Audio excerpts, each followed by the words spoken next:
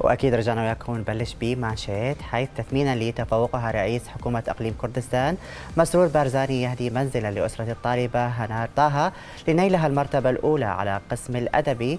أعلن وزير التربية في حكومة إقليم كردستان ألان حما سعيد يوم أمس بأن رئيس الوزراء مسرور بارزاني أهدى منزلا لأسرة الطالبة الحاصلة على المرتبة الأولى في الفرع الأدبي بالامتحانات النهائية للمرحلة الإعدادية.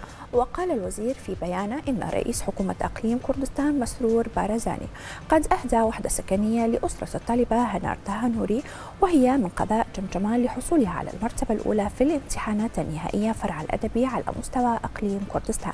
وأضاف أن رئيس الحكومة وجه بزيارة منزل الطالبة وإهداء أسرتها وحدة سكنية. وسيمنح جوائز للطلبة الذين حققوا المراكز الأولى في جميع فروع ال 12 الأعدادي.